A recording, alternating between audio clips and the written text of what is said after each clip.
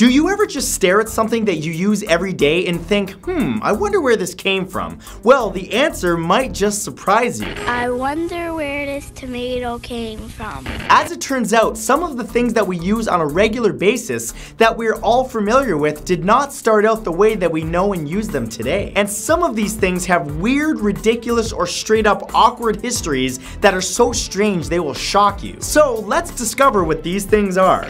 Here are 10 everyday items with amazing origins. Number one is the chainsaw. You might be surprised to learn that while our first item is usually used to kill trees, its initial function was to help give life. The chainsaw was first invented around 1830 by Dr. Bernhard Heine. A German orthopedist, Dr. Heine created the mechanical tool after constantly seeing complications when assisting female patients while they give birth. This invention, which he originally dubbed the osteotome, had small rotating chain links which carried tiny angled metal teeth perfect for cutting through bone. The original purpose of it was to widen a woman's pelvis in order to make childbirth smoother and easier on the mother. The bone chainsaw, as it was later called, was operated by hand, by turning a handle which spun the chain. Later on, this invention was used to remove diseased bone, and it wasn't until the 1920s that chainsaws became popular tree clearing machines. And exactly what year did directors decide that the chainsaw was going to become terrifying? Because it's Jason's weapon of choice.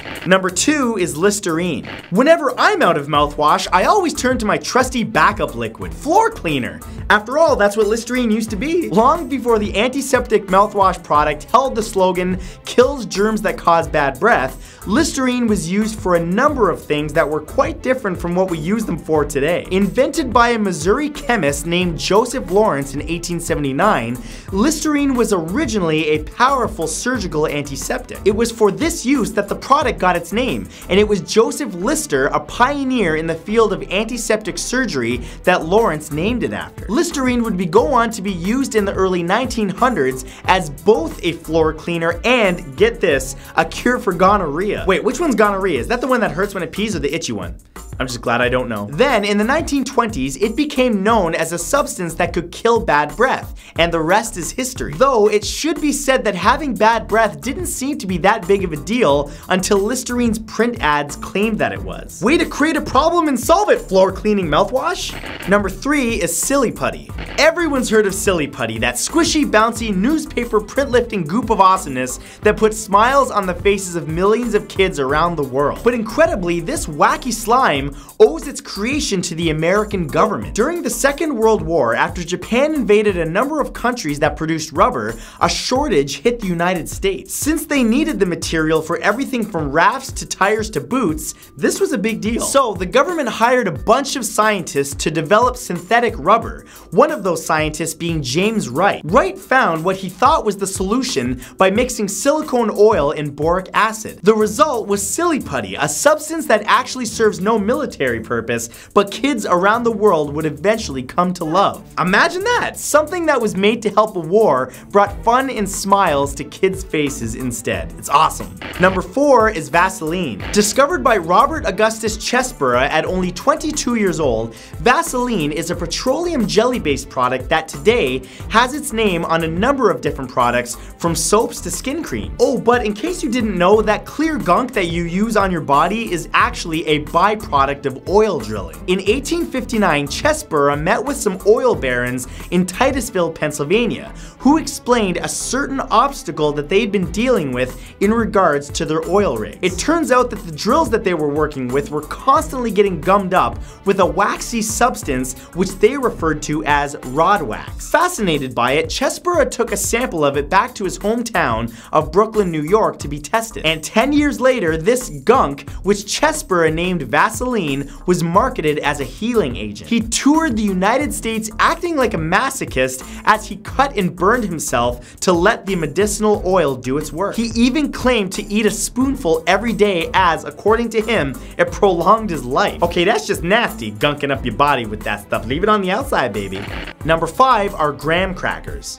Oh, the irony of the graham cracker. Who would have thought that the bread replacement on your delicious s'more sandwich was actually invented with the purpose of stopping the good times, uh, so to speak. Sylvester Graham was a Presbyterian minister and dietary reformer who believed it was God's intention for mankind to live a dull life with as few pleasures as possible. So, in accordance with that belief, he lived by the rule that eating only whole wheats ground coarsely at home was allowed. Some of his followers, believing in his preachings of minimizing pleasure, invented a cracker that they felt was perfectly in line with these rules as it was without any fun or flavor whatsoever. A plain, dry, crummy cracker that they affectionately named after their ridiculously boring leader. The hope was that the graham cracker would reduce libido and decrease people's sexy fun time. Of course, then the s'more was invented, and I'm guessing that they all cried because those things are made of nothing but awesome. Number six is Kotex.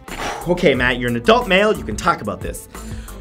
Tampons. Okay, nailed it. Believe it or not, Kotex, one of the world's leading brands of feminine hygiene products, didn't start out that way at all. In fact, their parent company started out making bandages for wounded soldiers during World War I. After the war ended on November 11, 1918, wounds became scarce and thus the need for bandages did as well. This left Kimberly Clark, the company that owns the Kotex brand, with a large excess of cellucotton, the wood pulp fiber used in making the bandages. Then, in 1920, the company came up with a new use for the absorbent material. Developing an alternative to rival Johnson & Johnson's disposable pads, the Kotex brand was born. Number 7 is bubble wrap.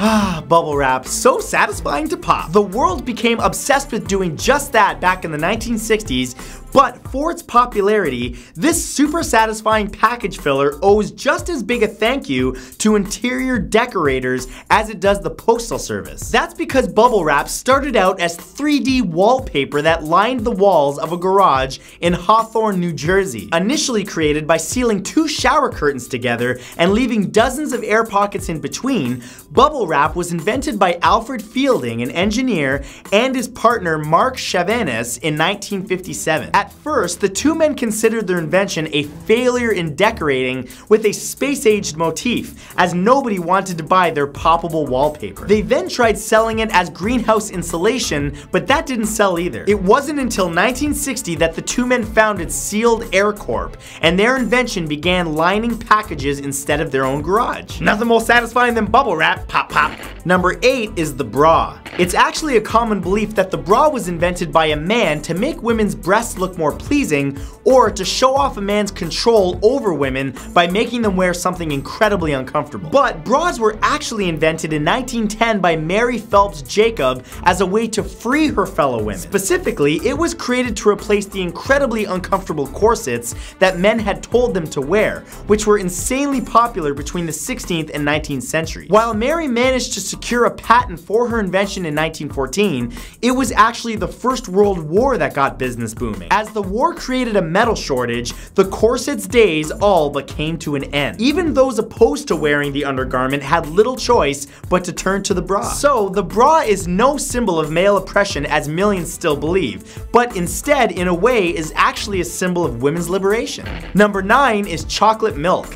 How we came to be able to enjoy this incredible drink is pretty unreal. Between 1687 and 1688, Irish botanist, naturalist, and collector Sir Hans Sloane became the personal in-house physician to the governor of Jamaica. While traveling through the country, the doctor was given a cocoa drink by the locals that they considered a delicacy. A mixture of cocoa and water, Sloane found it delicious, though he quickly discovered that it did not agree very well with his stomach and he became very nauseous. But not wanting to give up on the tasty, tasty beverage, he decided to mix the cocoa with milk instead of water, and presto, chocolate milk was born. Returning with the tasty new beverage to the UK, Sloane actually initially sold it in apothecaries as medicine. Mm, Move over, because this is delicious. And number 10 is the automatic transmission. Let's switch gears for a moment for this last one. Back in the 1950s, it was super manly to have a car, and it was especially manly if that car contained as many buttons and gadgets as possible. But driving a car like a man meant driving stick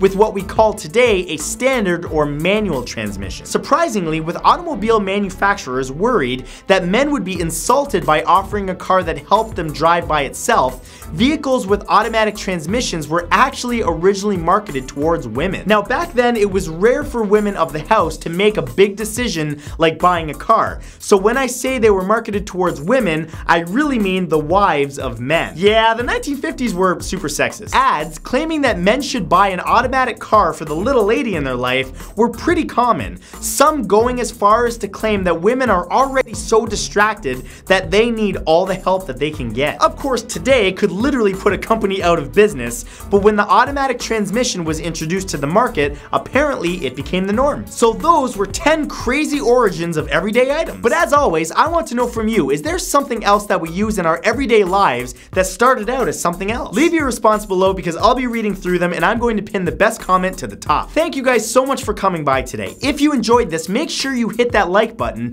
and remember to come back tomorrow at exactly 3 p.m. Eastern Standard Time because I'll have a brand new video for you. I will see you then. Mm, bye!